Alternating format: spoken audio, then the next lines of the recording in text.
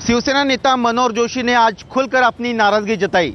शिवसेना अध्यक्ष उद्धव ठाकरे को एक चिट्ठी लिखी।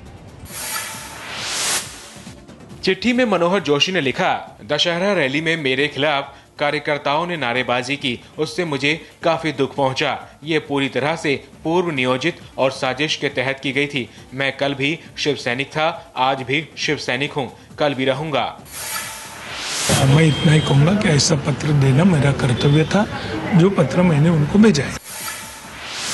दो दिन पहले उद्धव ठाकरे ने सामना के माध्यम से मनोहर जोशी को सख्त संदेश दिया था। जोशी दक्षिण मध्य मुंबई से लोकसभा का टिकट चाहते हैं, जबकि पार्टी ऐसा नहीं चाहती। Sachin Chaudhary, India TV, Mumbai.